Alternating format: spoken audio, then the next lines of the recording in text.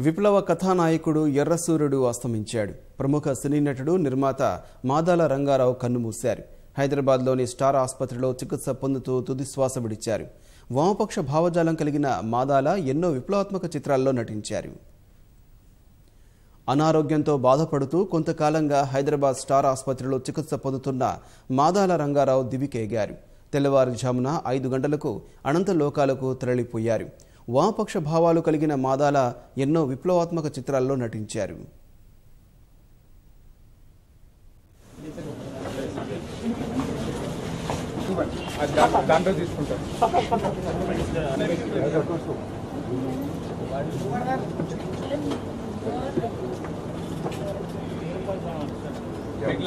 ఒక్క నిమిషం ఇది పోయాక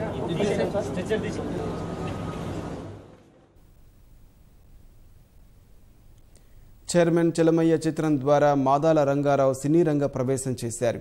ఎర్రమల్లెలు ఎర్ర పావురాలు మరో కురుక్షేత్రం మహాప్రస్థానం చిత్రాలు మాదాలకు మంచి పేరు తెచ్చిపెట్టాయి.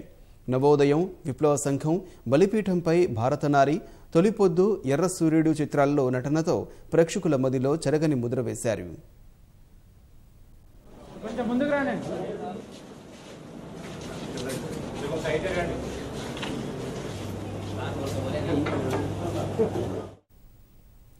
మాదాల నవతరం ప్రొడక్షన్స్ అనే నిర్మాణ సంస్థను స్థాపించారు. సమాజంలో వేళ్ళూరుకున్న అవినీతి అణచివేతలే ఇతివృత్తాలుగా చిత్రాలను నిర్మించారు. ఆయన తీసిన యువతరం కదిలింది చిత్రానికి బంగారు నంది పురస్కారం లభించింది.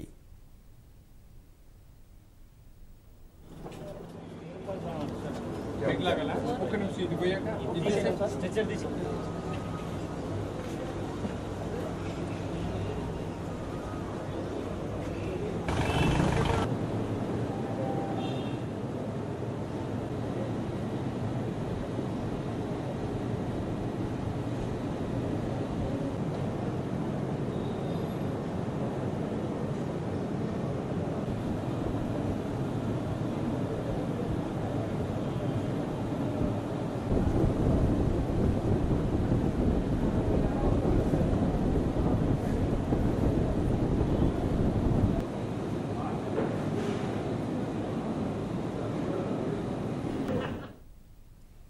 విప్లవ కథానాయకుడు ఎర్ర సూర్యుడు అస్తమించాడు. ప్రముఖ సినీ నటుడు నిర్మాత మాదాల రంగారావు కన్నుమూశారు హైదరాబాద్లోని స్టార్ ఆసుపత్రిలో చికిత్స పొందుతూ తుదిశ్వాస విడిచారు. వామపక్ష భావజాలం కలిగిన మాదాల ఎన్నో విప్లవాత్మక చిత్రాల్లో నటించారు. అనారోగ్యంతో బాధపడుతూ కొంతకాలంగా హైదరాబాద్ స్టార్ ఆసుపత్రిలో చికిత్స పొందుతున్న మాదాల రంగారావు దివికేగారు. తెల్లవారుజామున ఐదు గంటలకు అనంతలోకాలకు తరలిపోయారు. వామపక్ష భావాలు కలిగిన మాదాల ఎన్నో విప్లవాత్మక చిత్రాల్లో నటించారు. చైర్మన్ చెలమయ్య చిత్రం ద్వారా మాదాల రంగారావు సినీ రంగ ప్రవేశం చేశారు. ఎర్ర మల్లెలు ఎర్ర పావురాలు మరో కురుక్షేత్రం మహాప్రస్థానం చిత్రాలు మాదాలకు మంచి పేరు తెచ్చిపెట్టాయి.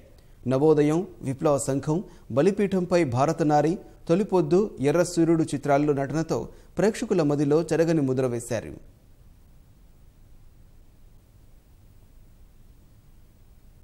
మాదాల నవతరం ప్రొడక్షన్స్ అనే నిర్మాణ సంస్థను స్థాపించారు. సమాజంలో వేళ్ళునూకున్న అవినీతి అణిచివేతలే ఇతివృత్తాలుగా చిత్రాలను నిర్మించారు. ఆయన తీసిన యువతరం కదిలింది చిత్రానికి బంగారు నంది పురస్కారం లభించింది.